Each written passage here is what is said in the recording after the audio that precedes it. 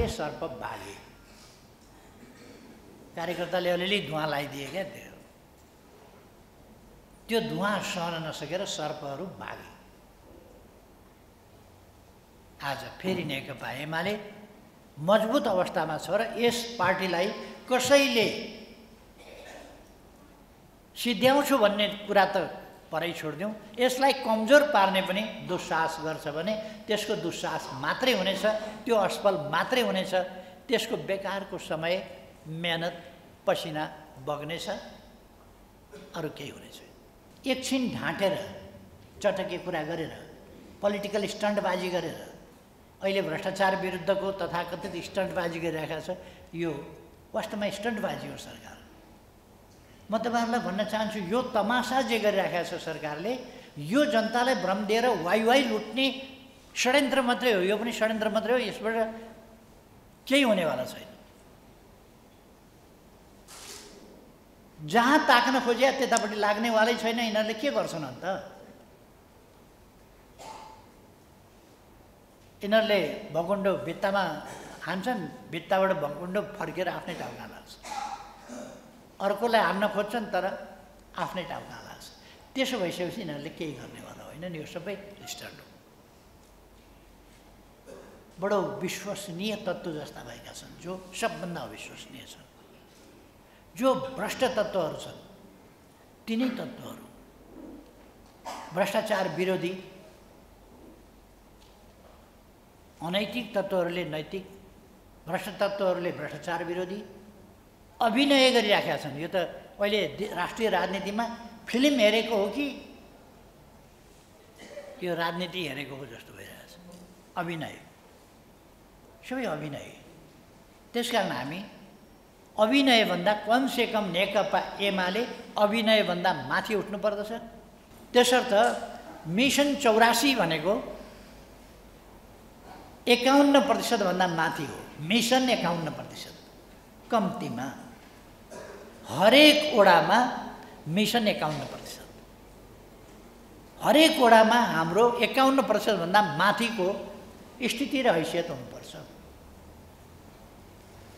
अनि त्यो mission communist party नभई त्यो कसरी हुन्छ? मिसन कम्युनिस्ट पार्टी गन्तव्य बिनाको मिसन कम्युनिस्ट पार्टी बेसरी खेल सिकाउने त्यो खेल त भरे गोलमा पो नापिन्छ त। वैशाख चौबिस गते अहिलेको यो अध्यादेश अस्ति बिस गते पास भएन भनेर गृहमन्त्री कुदेर त्यहाँ गएर अरूले पास गर्न दिएनन्। म छु म रोक्न दिन्न कसैले अब तपाईँहरूलाई न्याय नदिलाउन सक्दैन म दिलाउँछु भनेर कड्किए यिनीहरू नै हुन् जसले वैशाख चौबिस गते पेस गर्नुपर्ने कुरा असार पाँच गते पेस गर्छन् पार्लियामेन्टमा। के हेरेर बसे? राष्ट्रिय सभामा असार पाँच गते पेस गर्छन् वैशाख चौबिस गते पेस गर्नुपर्ने त्यो अध्यादेश सम्बन्धी प्रतिस्थापन विधेयक। वैशाख चौबिसदेखि असार पाँचसम्म के हेर्न बसे अथवा बिल्कुल उदासीन लापरवाह र यिनीहरू सामन्तका पक्षमा भएको हुनाले यिनीहरूले त्यो गरे नहोस् भनेर। प्रधानमन्त्रीले राजीनामा गर्नुहोस् अथवा बाटो त निकाल्नु पऱ्यो नि केही। जथाभावी बोल्ने। अनि उहाँ मलाई प्रधानमन्त्री बनाउन कतिपल्ट दिल्ली जानुभयो भन्ने। अनि केही पनि होइन भनेर चुप लागेर बस्ने। प्रधानमन्त्री पार्लियामेन्ट पनि आउनु भएन कसैसँग कुरा पनि गर्नु भएन र झुट प्रसारण गर्नुभयो भोलिपल्ट कि बोल्न दिएन स्पष्टीकरण गर्न दिएन भनेर। कहाँ गर्नुभयो उहाँहरूले स्पष्टीकरण? बल्ल हिजो स्पष्टीकरण दिन्छु भनेपछि त हामीले त दिउँ त स्पष्टीकरण दिन। प्रचण्डजी एन्ड कम्पनीको सात गठबन्धन दस गठबन्धन कतिको गठबन्धन हो? यो दिनेपछि फेरिन्छ सङ्ख्या पनि कति भन्ने? यो गठबन्धनको सरकार। यसले त्यसलाई असफल पारिसक्यो। हिजो साठी दिन कटेको पाँच दिनपछि साठी दिन कटेको पाँच दिनपछि फेरि विधेयक पारित गरौँ भनेर साठी दिनमा त्यो रद्द भइसक्छ अर्को विधेयक ल्याउनुपर्छ। यिनीहरूलाई कानुन संविधानको मतलब होइन। खालि जनता छकाउने अनि त्यहाँ अब हामीले त भन्नु पऱ्यो त संविधान बमोजिम मिल्दैन। त्यसो भन्ने बित्तिकै कुदेर माइतीघर मण्डलामा पुग्ने र एमाले हुन दिएन भन्ने। यो सबै जनता ठग्ने चाल हो। जनता ठग्ने चाल हो नत्र भने त्यस्तो विधेयक म्याद समाप्त भइसकेको पाँच दिनपछि कसरी ल्याउँछ? र उनीहरू यो गठबन्धन कायम राख्न चाहन्छन् किनभने उस्तै उस्ताको मिलेको जस्तो देखिन्छ।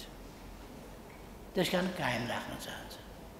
हामीले भनेका छौँ हामीलाई सरकारमा जान हतारो नभएको मात्रै होइन अहिले हामी सरकारतिर हेरेका पनि छैनौँ त्यता सोचेका पनि छैनौँ। हामी ग्रास रुटमा लाग्यौँ अब मिसन चौरासी मिसन फिफ्टी वान पर्सेन्ट यतापट्टि हामी लागेका छौँ। हामीलाई सरकारतिर हेर्ने यो सरकारको दैनिक खिचलो सरकार बनाउने त्यसलाई जोगाउने त्यसलाई कसरी टिकाउने यताको टेको उताको टेको यो खोज्यो ऊ खोज्यो कसलाई जेलबाट छुटाएर चारवटा भोट लियो कसलाई के गरेर चारवटा भोट लियो अर्कालाई के गरेर यता खेल्यो उता खेल्यो यस खालको कुनै परिणाम ननिस्कने परिणाम ननिस्किने खेल। स्वास्थ्यका लागि वैयक्तिक स्वास्थ्यका लागि ठिकै हुन्छ गन्तव्य कहीँ पुग्नु छैन ज्यान मात्रै बनाउनु छ भने ठिकै हुन्छ ट्रेडमिल। तर कोही गन्तव्य अन्तै छ भने ट्रेडमिलमा कुदेर गन्तव्यमा पुगिँदैन र हाम्रो पार्टी गन्तव्य भएको पार्टी हो यो खालि ट्रेडमिलमा कुद्ने मात्रै होइन।